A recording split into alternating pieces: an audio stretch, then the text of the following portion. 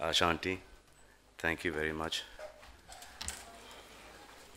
I don't deserve being here.